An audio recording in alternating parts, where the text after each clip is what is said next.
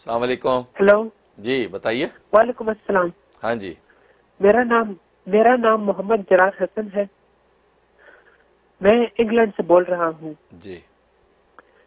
میرا سوال تھا عوام کو اجرائی حد کی اجازت نہیں ہوتی ہے۔ اس جملے کا کیا مطلب ہے؟ کیا دو- دوبارہ دوبارہ کہیں کیا بولا؟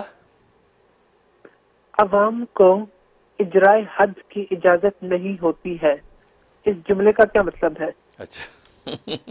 بقیہ ویڈیو دیکھنے سے پہلے ویڈیو کو لائک کریں راہم ٹی وی چینل کو سبسکرائب کریں اور بیل آئیکن پر کلک کریں۔ شکریہ۔ آپ بھی دور کی کوڑی لاتے ہیں جرا حسن صاحب انگلینڈ سے ماشاءاللہ آپ کال کر رہے ہیں۔ تو اس کا مطلب یہ عوام کا مطلب یہ جو عام لوگ آئے ہیں عام لوگوں کو اجرائے حد حد کا مطلب ہے حد لگانے کے مثلا ایک چور نے چوری کی پبلک نے چور کو پکڑ لیا اب اس کی حد یہ ہوتی کہ اس کا ہاتھ کاٹا جائے۔ اب پبلک کو اجازت نہیں ہے کہ چور کو پکڑ لیا، اس کا ہاتھ کاٹ دیا۔ یا یہ زنا کرتے ہوئے لوگ، لوگوں نے پکڑ لیا مرد عورت کو۔ اب وہ یہ نہیں کہ وہ اگر محسن احمد ہے شادی شدہ دونوں اور ان کو سنسار پبلک کرنا شروع کر دیا۔ یا یہ کہ شادی شدہ نہیں ہے تو لہذا ان دو، ان کو پکڑ کے ان کو کوڑے مارنا، اسی اسی کوڑے مارنا شروع کر دیے۔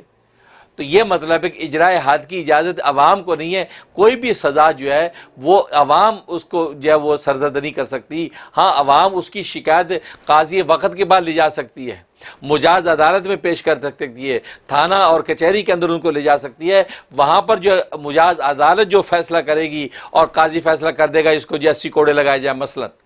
یا اس چور کا ہاتھ کاٹا جائے، یا اس اس کو زانی کو سنسار کیا جائے، اب وہ جب احکام دیتا ہے وہ پھر اپنے احکام کی روشنی میں وہ اب اس حد کو جاری کر سکتا ہے۔